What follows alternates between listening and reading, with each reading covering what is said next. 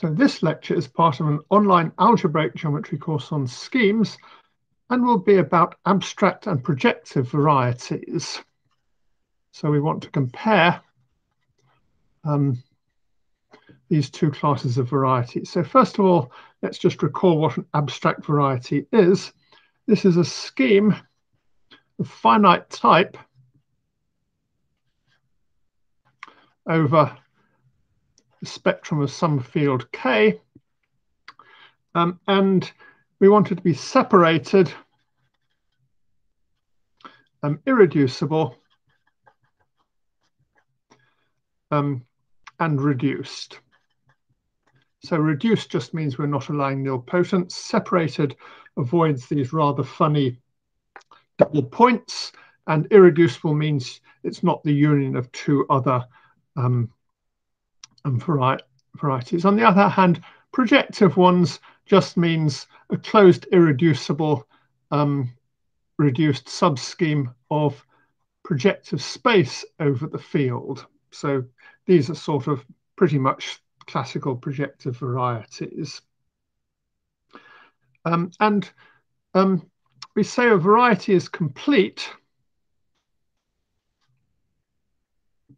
So if, if this variety V here is complete, it just means the map from V to spectrum of K is proper. Um, and we've seen earlier that projective um, implies proper. So all projective varieties are complete. Um, abstract varieties were introduced by Andre Weil in order to construct Jacobians of curves over fields of finite characteristic. Um, he needed this for his proof of the Riemann hypothesis over finite fields. Um, however, afterwards, Chow showed that all the Jacobian varieties that they needed were in fact projective varieties.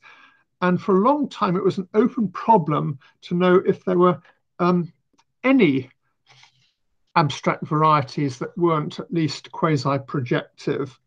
So um, first of all, um, we can ask, is a general abstract variety contained in a complete one? This was answered by Nagata, who showed that any abstract variety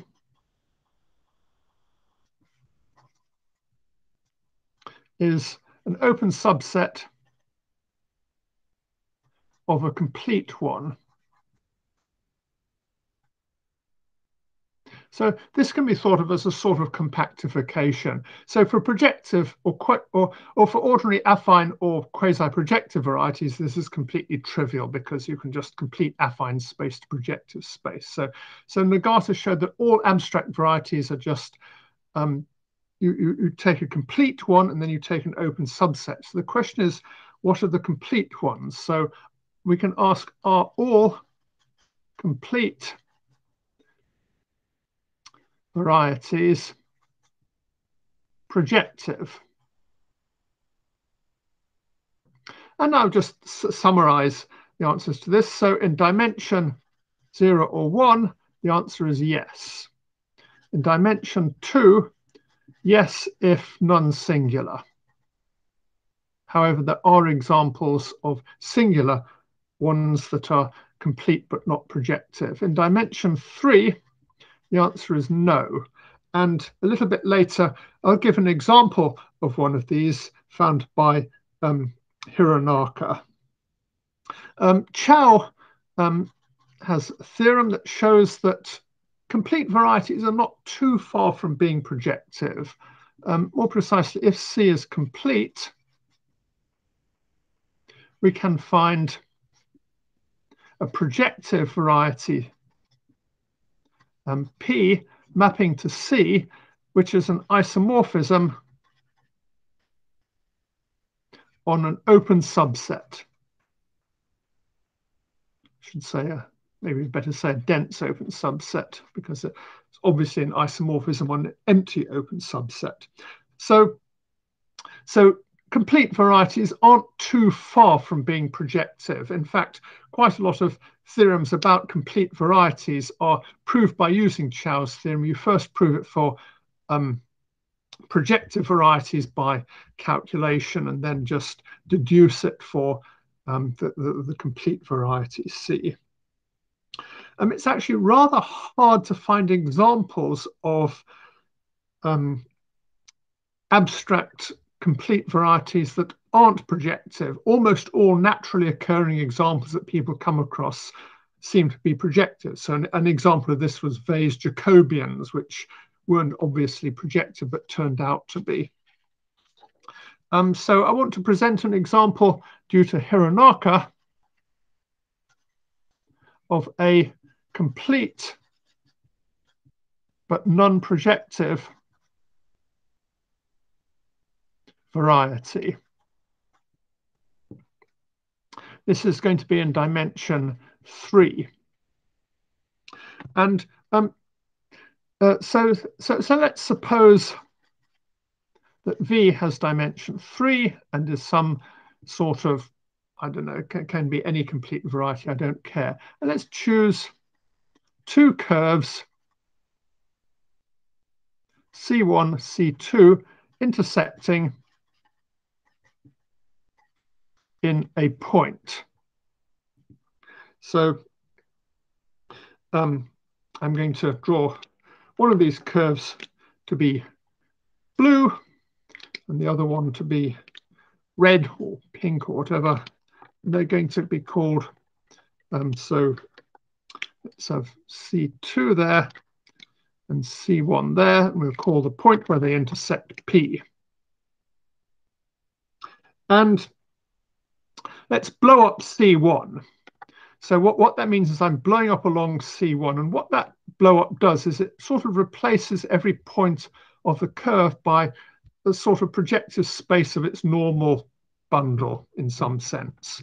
The result of this is to replace each point of C1 by a projective line. So if we blow up C1, it sort of ends up looking a bit like this. See, we, we can think of that, that, that there's a lot of lines there. And C2 still looks like this. So, so, so C1 is now being blown up and C2 is still looking like that. And the blow up of C2 consists of a line here and called the exceptional curve and the um, and together with a sort of copy of C2. And next what we do is we blow up C2, well, the, the, the, strict transform of C2, which means we blow it up without blowing, blowing up this line here. So what we end up with is a curve C1 looking a bit like this. And if we blow up C2, this again involves replacing points of C2 by copies of projective space. So, so all these lines here are sort of copies of P projective space P1, and all these lines here are copies of P1. Uh, and now what we do is we consider a line L1 here. So, so, so let's take a line here and call this line L1. So there it is again, here's L1. And we do the same thing here. Let's take one of these P1s and call this L2. Um, and now the key point is that if this is projective,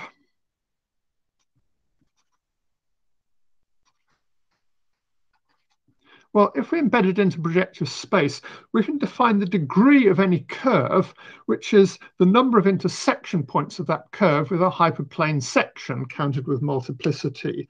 And the key point is that the degree of L1 is greater than the degree of L2. And um, the point that the, the reason for this is that the degree doesn't vary as you sort of vary the curve in an algebraic family. Um, now, as we vary the curve L1, we sort of mostly get these lines, but, but, but at this point here, um, something a little bit funny happens because the algebraic family containing L1 kind of ends up being this curve here, where it's a where it's a copy of where it breaks up into two curves. One is the sort of exceptional curve, and one is one of these curves here. Now, this curve here is algebraically equivalent to L2. So L1 is algebraically equivalent to this green curve plus a copy of L2. So in fact, the degree of L1 is equal to the degree of L2 plus the degree of this funny exceptional curve E, where E is this curve here. Well, so far, nothing unusual has happened, and we can carry out this construction in starting with a projective variety. And if we blow up twice, we will still have a projective variety. So now Hironaka did something rather clever. What he did was he took two curves, C1, um, sorry, C1 and C2, intersecting in two points. So here they're intersecting in two points. And now what we do is we blow up C1 and C2. Um, however, the cunning thing is um, at P2, we blow up P1 first, and at P1, we blow up, sorry, not, not P1, we blow up C1 first, and at P2, we blow up along C2 first, and then C1. Well, first sight, this doesn't make sense because you either blow up along C1 first or you blow up along C2 first, and how can you how can you sort of do both? Well, what we do what we do is we really have to glue.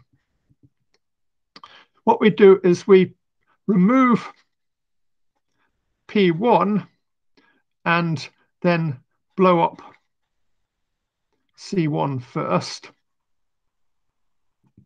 Or we can remove P2 and blow up C1 first.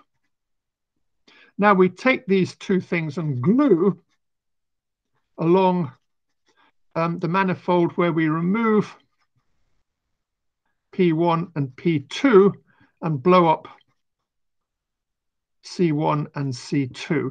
Now, if we've removed both P1 and P2, it doesn't make any difference what order we blow up C1 and C2 are because C1 and C2 um, don't intersect. So here we've got two manifolds with a with an open subset in common, and we can just glue this manifold to this manifold along this manifold. And that has the effect of that, that's what is meant by that at P2 we blow up along C1 first and at P1 we blow up along C2 first. You really can make sense of it by blowing up two, um, by, by gluing two manifolds together. Um, and so, so now let's look at what happens if we blow up along C1. We remember we get this line L1. And if we blow up along C2, we get a line L2. Um, and now um, we have the following two properties. If this is projective, we find the following properties. First of all, we see the degree of L1 is greater than the degree of L2. And secondly, we find that the degree of L2 is greater than the degree of L1. And we find the degree of L1 is greater than the degree of L2 if we um, blow up along P1 first sorry, if we blow up along L1 first, and we find this if we blow up along L2 first. So, um, so, so we're blowing up L, L1 first at the, um, uh, sorry, I get muddled up about whether this is point P1 or P2. Uh, so I'll leave this as an exercise. Well, obviously these two just give a contradiction. So the variety is not um, projective. And you, because you can't define the degree of a curve in it in, in, a, in a consistent way. Um, so uh, this example of Hironaka's can be used to produce lots of other weird examples by modifying it slightly. For instance, you can find examples of algebraic spaces that aren't schemes. So algebraic spaces are a sort of slight generalization of scheme introduced by Artin. Okay, that'll be all on um, uh, proper and separated morphisms. Um, the next topic we want to cover will be sheaves of modules over a scheme.